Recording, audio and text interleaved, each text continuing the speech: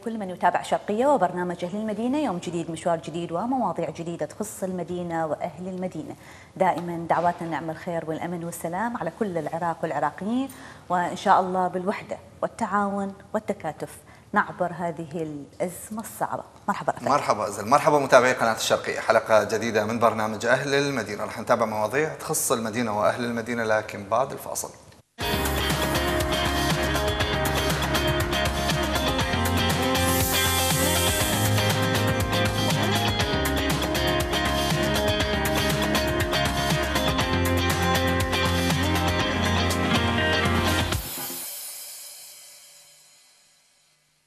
طيب بالبداية تذكير بطرق التواصل ويانا عن طريق التليجرام ورقم الظاهر أسفل الشاشة اللي يحب يتواصل ويانا من خلال هذا الرقم.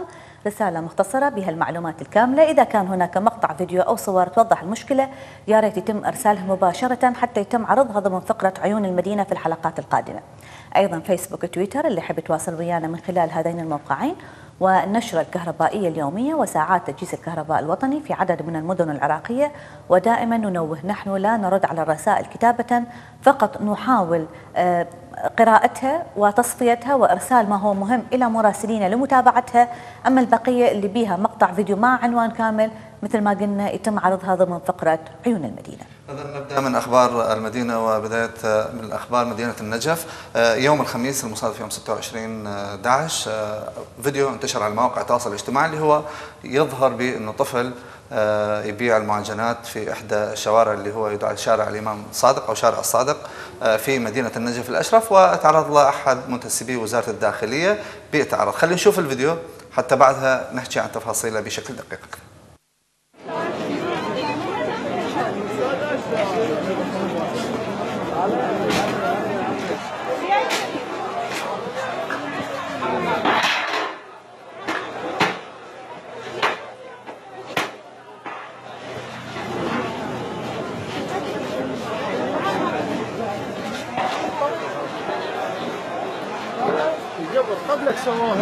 the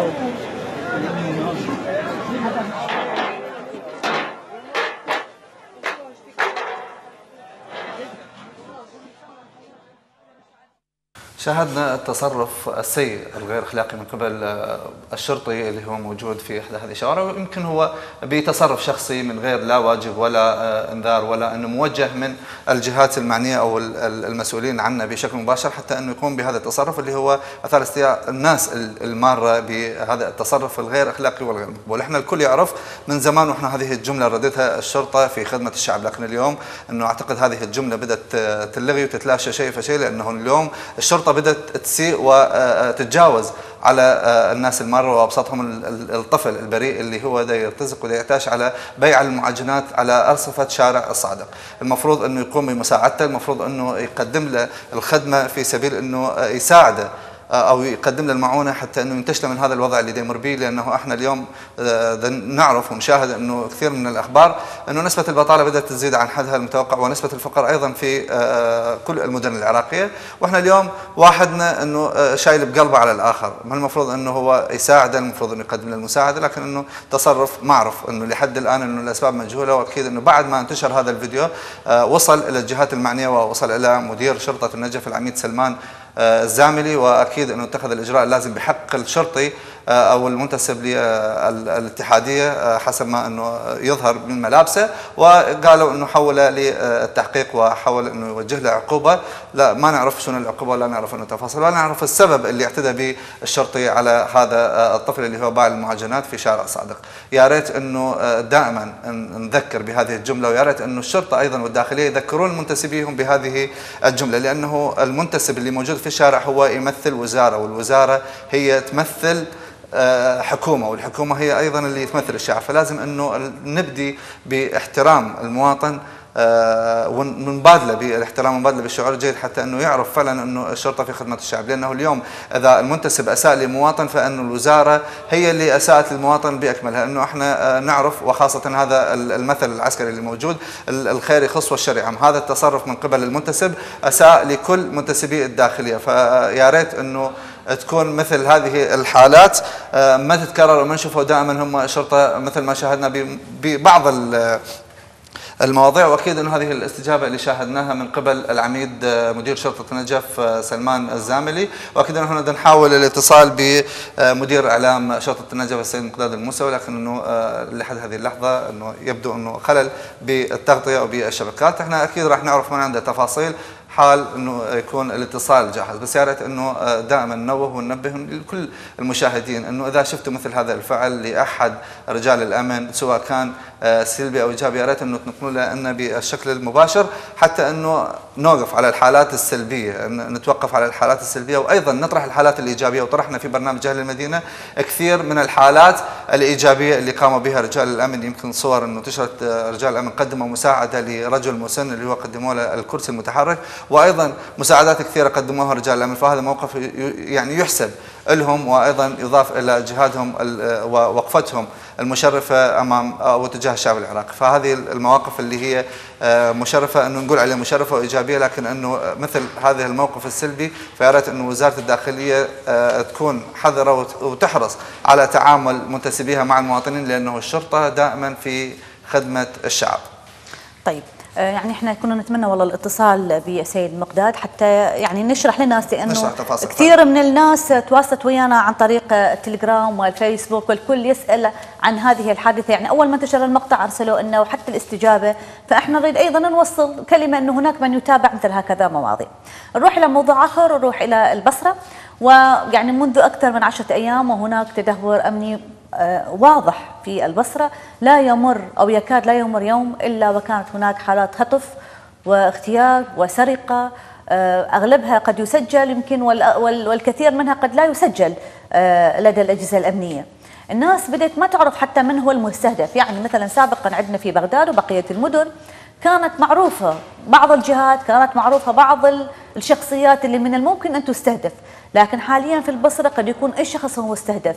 نساء رجال كبار صغار آه لذلك هناك ارتباك واضح في الوضع الأمني في البصرة. هناك مناشدات وصلت إلى أهل المدينة وإلى مراسلنا في البصرة أيضا. يقولون أنه لازم توصل قد يكون الأجهزة الأمنية في البصرة غير قادرة آه، على السيطرة على الوضع هناك.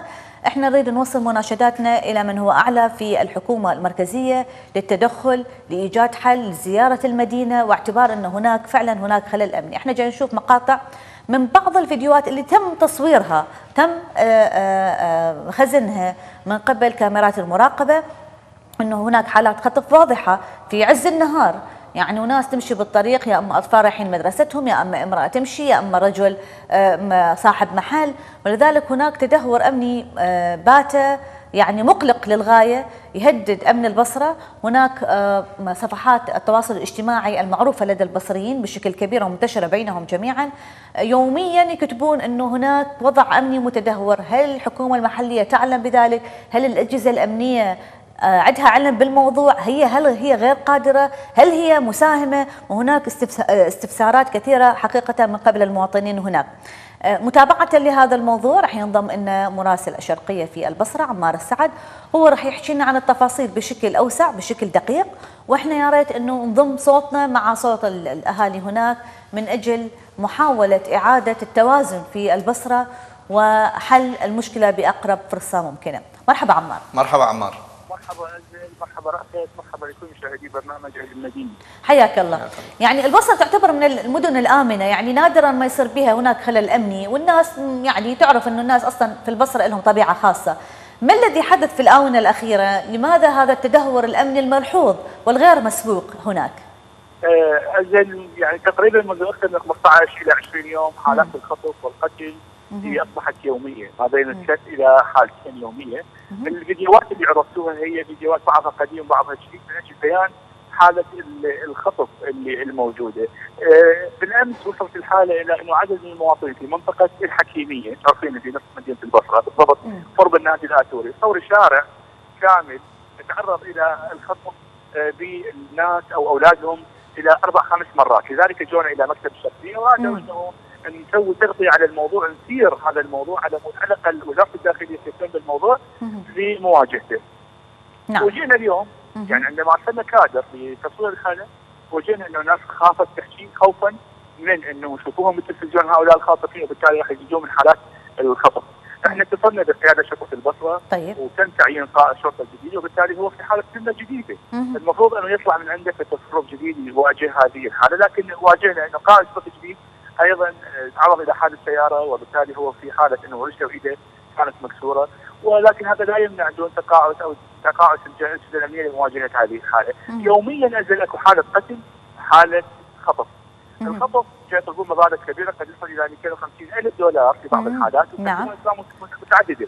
نعم بعض العوائل قالوا لنا إنه هناك بعض الناس يستخدمون أو بعض الخاطفين يستخدمون سيارات شرطة على. حد حد العوائل اللي قالوا لنا نعم بعضهم يستخدمون اسم الاستخبارات جهات الاستخبارات بعضهم يقولون مهم. إنه ناس قالوا إحنا من الحشد الشعبي الحشد الشعبي. الحشد الشعبي نزل بيان قال إحنا غير مسؤولين عن هاي الحالات الموجودة وعن ناس يدعون إنه بأسامينا يقومون بعمليات الخطف نعم بعض المخطوفين روانا حادثة. إنه تم وضعهم بسيارة آه، حمل. هي أكياس سمن وطحين وحطوها جو جو أكياس السمن والطحين ومكتوب على هذه السيارة هديه ال- المتبرعين للحي الشعبي فبالتالي ما يوقفون لا سيطرات صحيح ولا مكان أها. ويأخذونهم دائما إلى مناطق الاهوار أو مناطق شمال البصرة طيب ويساومون من خلال الاتصال بعوائلهم بمناطق مختلفة على مود لا تلقاهم شبكه الاثير أو مهم. وتبدي المساومات بأربع إلى خمس 20 شده كما يقولونها بالعامية أي 200 ألف دولار مم. وينزل بالتالي المساومة إلى خمس آه، دفاتر. الناس تعبانة، الناس مرهقة من هذه الحالة والكل متقاعد. الغريب في الموضوع نعم. اليوم بمعنى إنه قائد عمليات البصره يقول مم. إحنا سوينا خطه امنيه وراح ننفذها ورا ال 40 ورا رجال ال 40 لا ترى منها ال 40 شلون الناس يعني.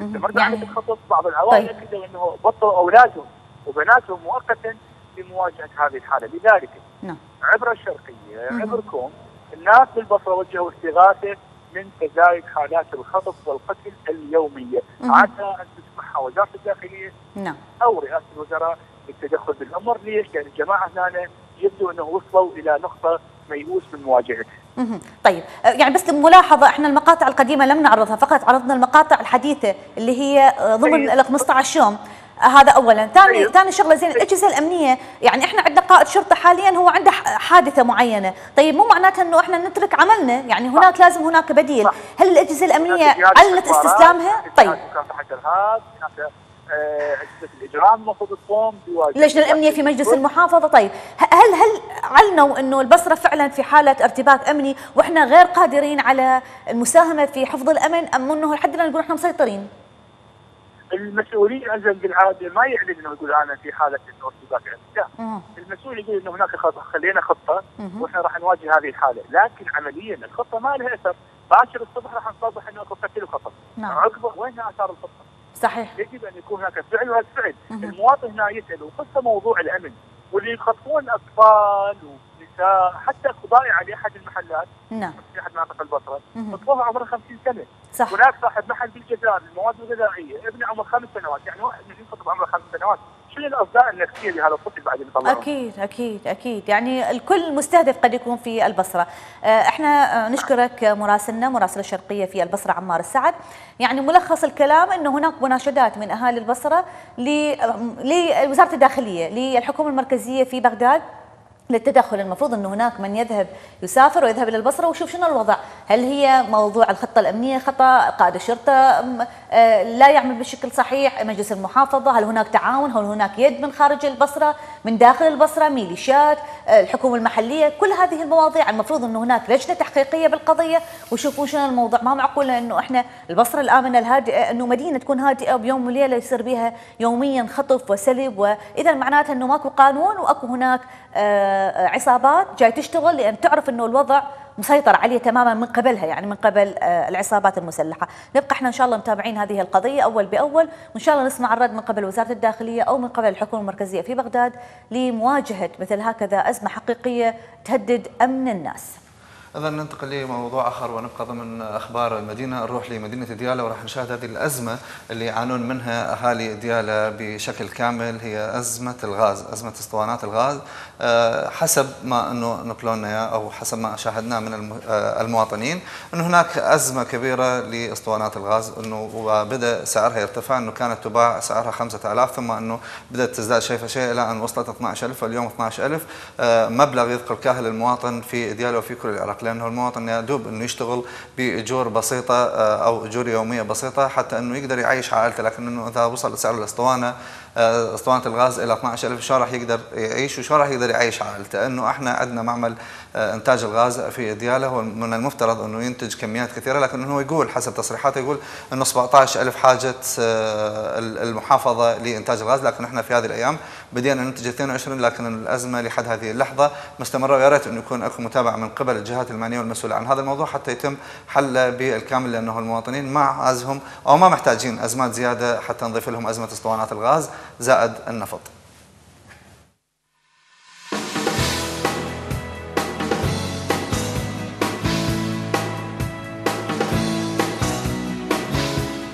هسه بالنسبة عندنا أزمة الغاز والله صار 10 أيام.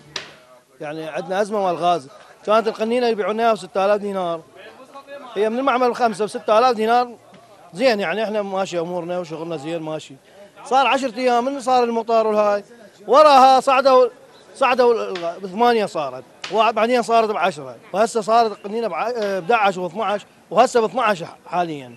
زين؟ أنت حضرتك صاحب مقهى يعني هم تأثير له عليك هذا؟ إي طبعا تأثير عليه. لا شلون؟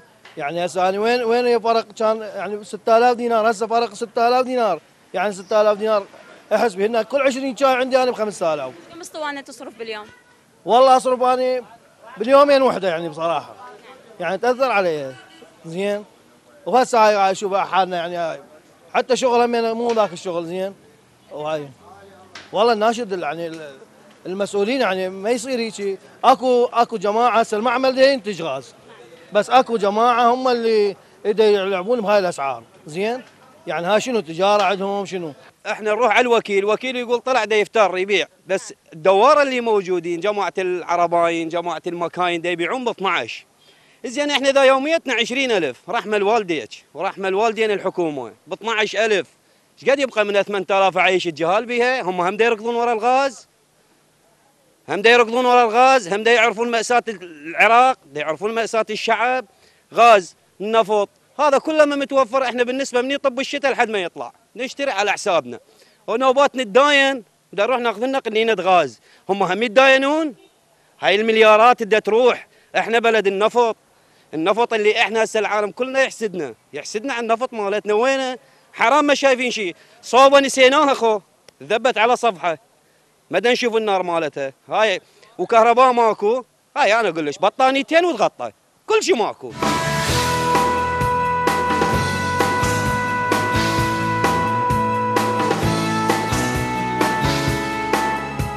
حقيقة ماكو أي شحة أو أزمة وإنما هناك موضوع مفتعل.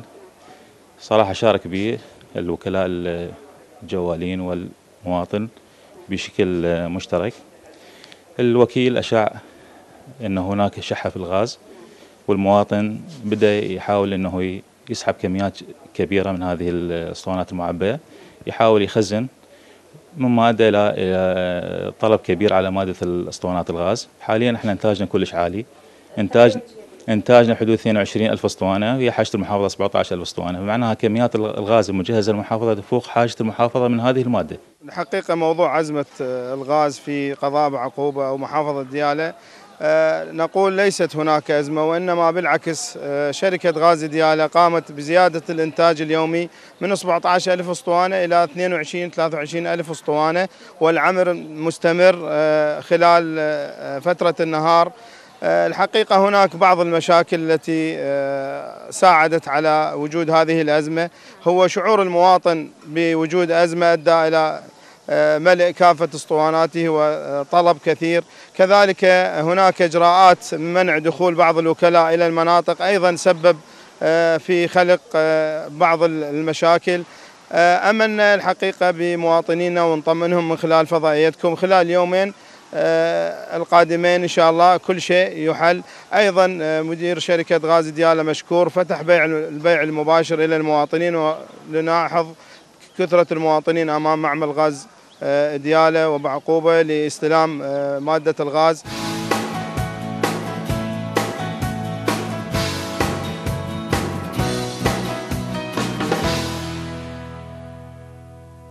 هذه الأزمة حالها حال بقية الأزمات اللي يمر بها الشعب العراقي صار لها سنين لحد هذه اللحظة. يمكن أنه ما قدرنا نتخلص منها. عندنا كل موسم شتاء أزمة آه، النفط الأبيض لأنه آه، فصل الشتاء بارد وأكثر الناس إنه خاصة في هذا الوقت إنه نازحة ويحتاجون إلى النفط وأيضا هي أزمة وبعدين مشاكل ويا ريت لو يستجابون لو ما يستجابون.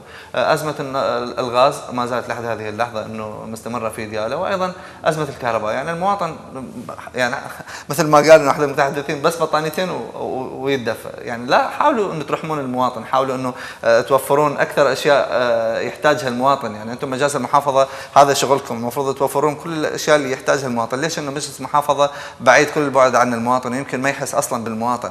آه، قبل أيام عرضنا إنه عن أزمة النفط في آه، في سامراء واستجابوا القطاع الخاص إنه مؤسسة أهلية استجابت لموضوع لكن الحكومة يمكن لحد الآن ما تدري إنه أكو أزمة نفط في في سامراء وما يدرون إنه أكو أزمة آه، غاز في دياله ولا يدرون إنه أزمة كهرباء وإحنا في فصل الشتاء. المفروض إنه ساعات تجهيز الكهرباء إنه تكون أكثر من فصل الصيف لكن إحنا لحد هذه اللحظة بعدنا نعاني من موضوع الكهرباء والنفط والغاز. وإحنا يمكن أكثر بلد يمتلك إنه أدوات ومحطات كهربائية وأكثر بلد يمتلك النفط والغاز ومشتقاته. لكن شو نسوي؟ نقول الله كريم. طيب نروح إلى موضوع آخر وإلى فقرة أخرى. تعرفون إحنا اليوم بداية أسبوع. آه اليوم آه راح يكون عندنا آه قانون المدينة. آه اللي إحنا حكينا به أو دائما نحكي به ودائما نسولف به ومو لأول مرة إحنا نسولف به هذا الموضوع. آه، وحتى لو سولفنا به هذا الأسبوع إحنا نبقى به نسولف لأنه هو من أهم أهداف أهل المدينة آه، القانون راح تعرفونه من خلال الفاصل.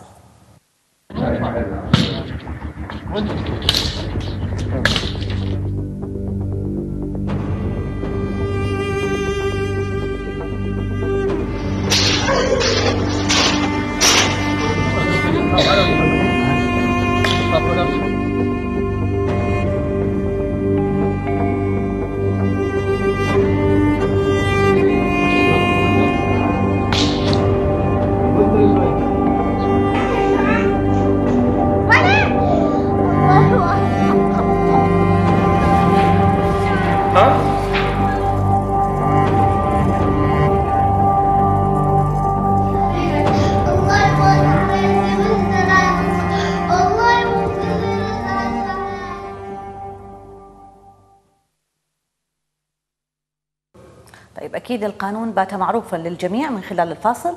موضوع قانون استمرار ضرب الطلبة في المدارس رغم أن هناك قانون. قبل سنوات إحنا من آه، كان عندنا حملة كبيرة آه، من أجل القضاء على هذا العنف المدرسي المستمر وبشكل كبير ورهيب في مدارسنا. إحنا وصلت بينا الحالة يمكن عرضنا حالات كانت آه، ضرب وتأثير نفسي لكن للأسف بدينا نكتشف إنه الناس صار عندها الجرأة وصار عندها عدم الخوف وبدت ترسل لنا إحنا أي حالة ضرب وصلت المرحلة إنه هناك من أصيب بالشلل الرعاشي مثل الحالة اللي وصلت لنا من كركوك ووصلت لنا إحنا حالة من الديوانية أعتقد اللي كان بها متوفي. آه، طالب توفى نتيجة ضرب المعلم له هو كان الطالب مريض لكن بعد تلقيه لضربة من المعلم كانت قاسية أيضا أدت إلى وفاته. هناك مقاطع أيضا كثيرة عرضت لذلك أهل المدينة يمكن على مدار مواسم كاملة هو كل ما يشوف مقطع أو توصل له مناشدة يتابعها طبعا مو أي مناشدة يتابع المناشدة ويشوف إذا كان هناك صور أو مقطع فيديو توضح المشكلة ويتابعها مع آه، أهلهم. إحنا المشكلة اللي اللي توصلنا لها أو إنه المعطيات أو التفاصيل اللي وصلنا لها إحنا عندنا بالعراق إنه إحنا عندنا قانون. حتى بعد يعني حملة أهل المدينة آه تم آه عرضه مرة أخرى أو أو آه قامت وزارة التربية بفرضه مرة أخرى وارساله إلى جميع المدارس لأن شافت إنه الموضوع منتشر وشافت إنه هناك ضغط من الرأي العام بعد طرحها في أهل المدينة، لذلك تم توزيع القانون على آه، الجميع إنه عدم ضرب الطلاب، لكن ضرب الطلاب استمر بل هناك من زاد بالعناد من بعض ما نريد نقول الكل لكن من بعض الكوادر التعليمية في ممارسة الضرب والعنف المدرسي بشكل آه، أكثر حتى من اللازم. يعني يمكن يقولون إحنا الضرب أكو مسموح به وما مسموح به رغم أنه إحنا ضد الضرب تماما لكن المشكلة عندنا بالعراق أنه تعدى حتى مرحلة آه، الضرب الاعتيادي. هناك ضرب غير اعتيادي في مدارسنا. أكو القضية أو المعطيات مثل ما قلنا اللي وصلنا لها إنه الأهل ورا يومين هم يشتكون وإحنا نتابع القضية. ورا يومين يتم حلها عشائريا بين الطرفين. والتربية تقول حلوها عشائريا وكانما تسحب نفسها أو تقول بعد أحسن لأن هي مثل تدخل في هذه المعمعة فلا تحاسب المعلم ولا هي أيضا الدار الطالب وهي الجهتين هم ينتمون لوزارة التربية، المفروض إنه هي من أكثر الوزارات تكون حريصة لأن الطرفين يتابعين إلها سواء الكادر التعليمي أو الطالب.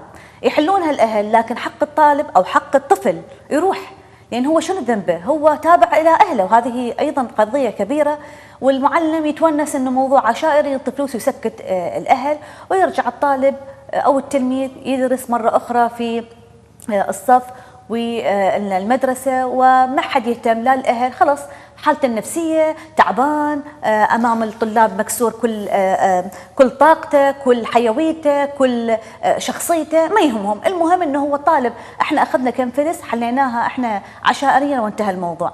لذلك إحنا نريد نوصل حاليا رسالة إلى الأهل أولا بعدم السكوت عن مثل هكذا قضايا وعدم اللجوء إلى العشائر لأن إحنا عندنا قانون. يا أما عندنا قانون يا أما عندنا عشائر. خلينا نفتهم أيضا هذا الكلام من وزارة التربية نفسها. أنت لو تمشين على قانون لو تمشين على عشائر. إذا على عشائر فحتى نحكي ويا العشائر ونلغي القانون. المن حاطين قانون وحاطين وزارة وحاطين قوانين. وإذا المواضيع إذا الموضوع هو تابع للوزارة وقانون المفروض انه يكون هناك متابعة من قبل وزارة التربية. تقول أنتم حليتوها عشائريا ما لنا علاقة لكن حق الطالب وحق المعلم أو ما المفروض على المعلم هذا اختصاصنا إحنا. إحنا نأخذ حق الرأي العام حق الوزارة شكل الوزارة. أنا عندي قانون المفروض أنفذه على أرض الواقع. لذلك هذا الأسبوع إحنا راح نحكي بشكل كبير ومفصل عن هذا القانون اللي إحنا حاكين به أصلا بالأساس. لكن نذكر طالما إحنا في سنة دراسية وبعدها على أولها نذكر الكادر التعليمي إنه إحنا ما راح ننسى هذا الموضوع وهذا ملف لن يغلق تماما حتى ننتهي من ظاهرة الضرب والعنف المدرسي في المدارس. أغلب طلابنا ما يحبون يروحون للمدرسة أغلب الطلاب ما يحبون المعلمين اغلب أغلب الطلاب صاروا أصلا كساله وما يستوعبون الدروس لأن هم مكسورين أمام زملائهم. ينضرب الطالب ويهان أمام جماعته وعادي الاهل يحلونها عشائريا، فإحنا حتى نفتهم في هذا الأسبوع، أما هي قضية عشائرية وخلص نحلها يا أما يكون هناك قانون ونتمنى من وزارة التربية ترد علينا أو نتمنى من وزارة التربية تشاركنا في هذا الموضوع حتى نوصل إلى حل أو آه، فصل بهذا، أما عندنا قانون أو عندنا عشائر ومتى يتم الانتهاء من موضوع العنف المدرسي ويمتى نرتقي ونغير من هذا الأسلوب اللي إحنا بسرعة المدرس أو المعلم وإحنا قبل ذاك الأسبوع كان عندنا إحنا حالة من كركوك وهي المعلمة يقال على أساس بالخطأ إن هي ضربت عين الطالب بصونده، طيب هي شنو ندخل الصونده وهي معلمة فنية صونده، إذا معلمة الفنية شايلة صونده، لعد معلم الإنجليزي والعربي والفيزياء والكيمياء شنو يشيل؟ فإحنا نتمنى يكون هناك متابعة من قبل وزارة التربية ومن قبل الأهل لأن هذا ابنكم ما يصير أنتم تركون حقه القانوني وتلجؤون للعشائر من أجل كم فلس. يا ريت إنه الجهات المشرعة للقوانين إنه تشاهد شنو آه، طرق التدريس في دول العالم ومن ضمنها إنه كوكب اليابان اللي دائما في المقدمة إنه يستقبلون الطالب بأشياء مسلية وأشياء مفرحة حتى إنه الطالب يكون محب أكثر لدراسته وللمدرسة. وإحنا موضوع إنه الامتحانات في اليابان إنه سابقين بآلاف الخطوات بل ملايين الخطوات في موضوع التعليم إنه آه، الاختبار من غير درجات. وأيضا حتى الامتحانات إنه ما يخلوها عليها درجات في سبيل إنه الطالب لا يحس إنه نفسه مجبر إنه يدرس وياخذ النتيجة. يا ريت إنه يكون أكو مثل ما هسه ما نقول اليابان إنه الدول العربية شلون يتعاملون مع طلابهم. يمكن صارت حالة في في لبنان إنه أحد الأساتذة ضرب آه، طالب آه، راسا المدرسة لغت وانغلقت وبعدين إنه المدير انفصل من دراسته.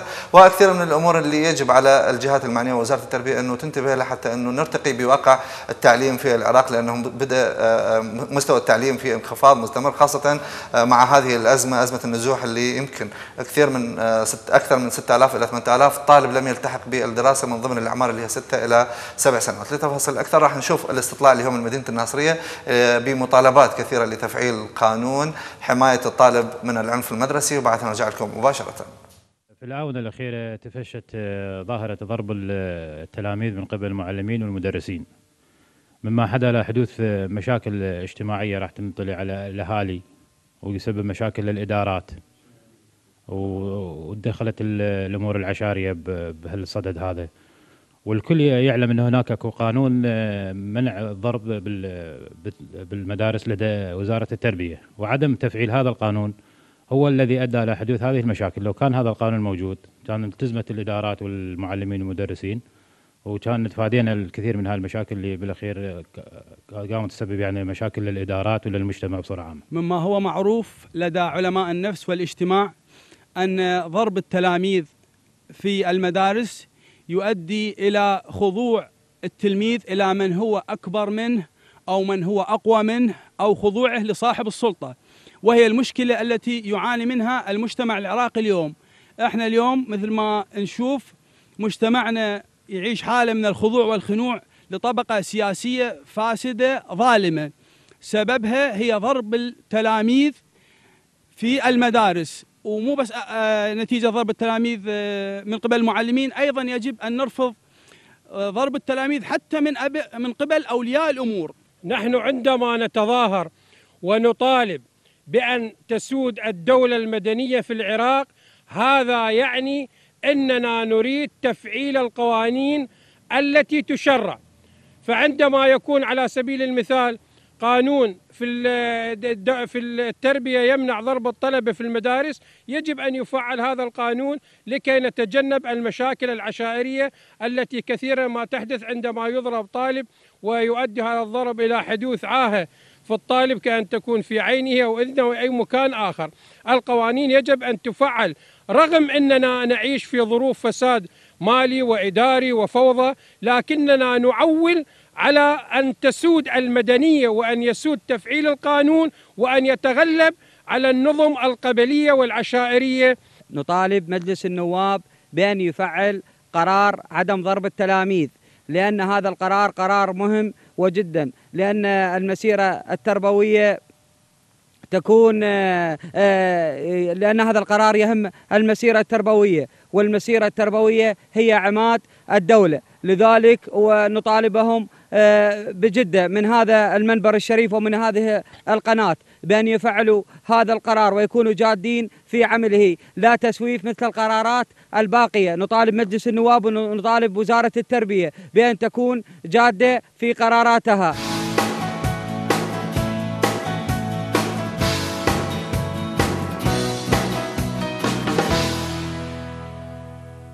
مطالبات كثيرة حول تفعيل قانون حماية الطلاب في العراق من العنف المدرسي ويا ريت أنه الجهات المعنية تكون على قدر المسؤولية وتحاول انه تفعل أو تشرع آه، مثل هذه القوانين هي تحمي الطالب وتحمي المواطن بشكل عام ونحن اليوم في دولة قانون وليست دولة عشائر.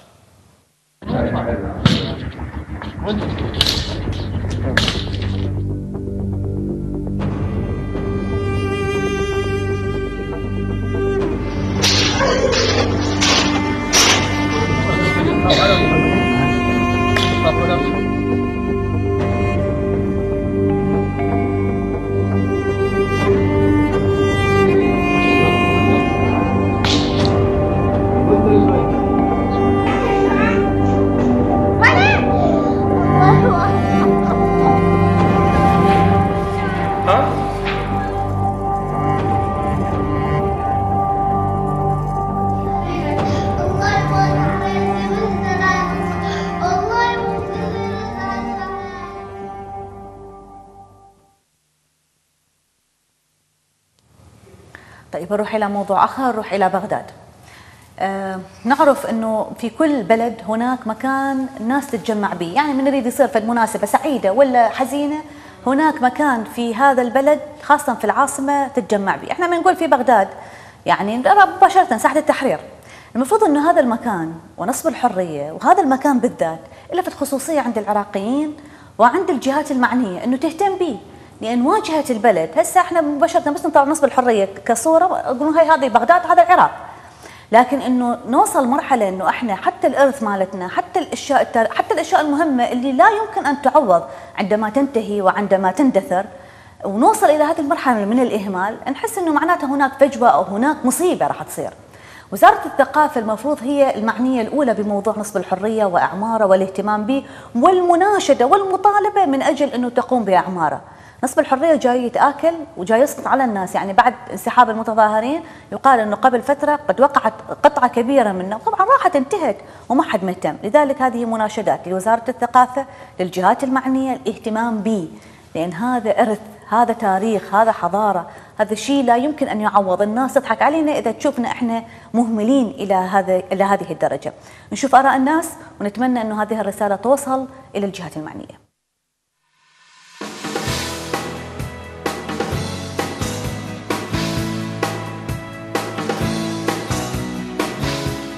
يعني بواقع الحال إنه ليس فقط نصب الحرية هو المهمل والمتروك يعاني من الاثار الدمار وآثار يعني الظروف الجوية اللي نالت منا الكثير.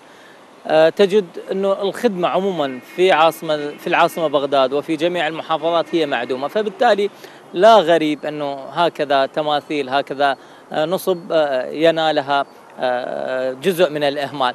اليوم الجميع مطالب من حكومة من وزارة الثقافة معنية بهذا الجانب أن تلقي اهتماما كبيرا بهكذا أماكن لها تاريخ ولها آثار ولها جاذبية من قبل. حتى السواح إحنا نشاهد من يجي سائح من مكان آخر من دولة أخرى يلتقط صور هنا فبالتالي من المعيب أن تجد هذه الآثار مدمرة مهملة بائسة حقيقة.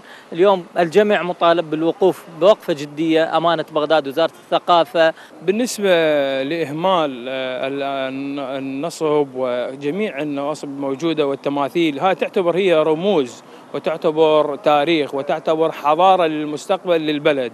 ولكن للأسف الشديد إحنا اليوم جميع التماثيل الموجودة هي مهمولة بشكل طبيعي من قبل وزارة والمعنية هي وزارة الثقافة والإعلام بهذا الجانب. لأن هذا هو رمز البلاد قلت مثل ما قلت أنه بالماضي ويبقى إلى الحاضر إلى أبد الآبدين. والإهمال هو يعني في الشيء مخالف للقانون. المفروض كل فترة وأخرى يتجدد هذا تضع بعض اللمسات الجميلة لأن هذا يعتبر تاريخ فحتى نجدد التاريخ يكون هناك اهتمام كبير به بشكل مستمر.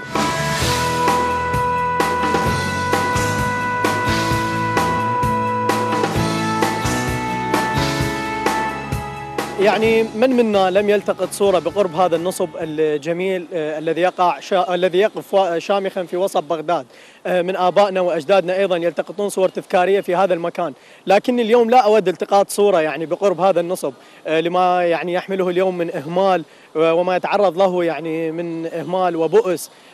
فبالتالي لا أود أن ترتبط هذه الصورة ويكون عنوانها الألم، أتألم لو أخذت صورة بقرب هذا النصب، بالتالي يعني نطالب أن تكون هنالك جهات معنية في بغداد، مجلس محافظة، أمانة بغداد، وزارة الأعمار والإسكان أو لجان مشتركة بين هذه الجهات لمتابعة النصب الموجودة في بغداد لأنها تمثل تراث بغداد، تمثل جذورنا، تمثل الإرث الثقافي للمواطن العراقي، يجب الاهتمام بها، يجب أن تكون وأن تبدو بحلة جميلة في بغداد لكي تبقى بغداد كما عهدناها عروس جميلة متألقة باهية بثوب أبيض.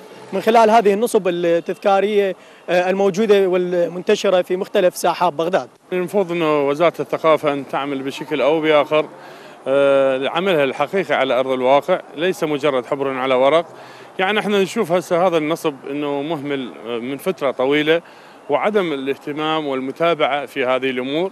يعني يحتاج ترميم يحتاج لأن هذا هو يعتبر هو تراث العراق.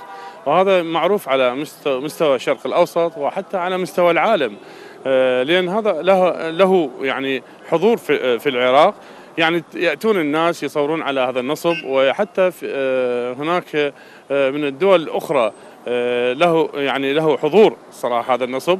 لكن إحنا نتمنى من وزارة الثقافة والإعلام أن تعمل بشكل أو بآخر بالرغم تأخيرها عنه لأن هذا النصب هو كان يعني يعني صراحة مهمل من منذ فترة طويلة. فإحنا نريد اهتمام كبير بالعمل الحقيقي على أرض الواقع على ارض الواقع. من خلال الترميم من خلال العمل المجدي. لأن هذا هو حضارة وصرخ العراق.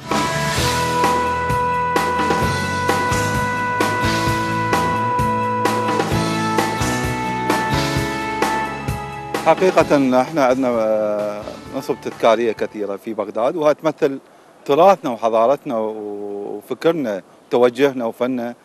هذا كل بلد عنده تراث وفد ثقافة معينة ويحاول حقيقة يقتدي بها إحنا تمثال الحرية ورمز آه، رمز لبغداد حقيقة. يجب هناك تقصير كثير من هذا من أمانة بغداد وزارة الثقافة. الناس المعنيين بهذا الشأن. هناك تقصير كلش كبير. هناك يعني يجب أنه آه، ترميمه إضافة آه، فد, فد لمسة جديدة لهذا الرمز التاريخي البغدادي.